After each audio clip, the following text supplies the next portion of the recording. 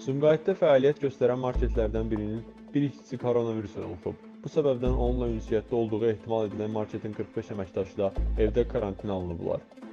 Bundan başqa, marketdə müqavilə əsasında mühafizə xidməti həyata keçirən şirkətlərdən birinin iki əməkdaşının da koronavirusun testinin nəticələri pozitiv çıxıb. Marketdən Xəzər xəbərə faktı təsdiq ediblər. Koronavirus faktı aşkar edildikdən dərhal sonra marketin nəzarət gücləndirilib. Çünki gün ərzində bura yüzlərlə müştəri daxil olur. Marketdən o da bildirilib ki, evdə qalan işçilər analiz verəcəklər. Virus aşkarlanmayan əməkdaşları yenidən işə cəlb olunacaq.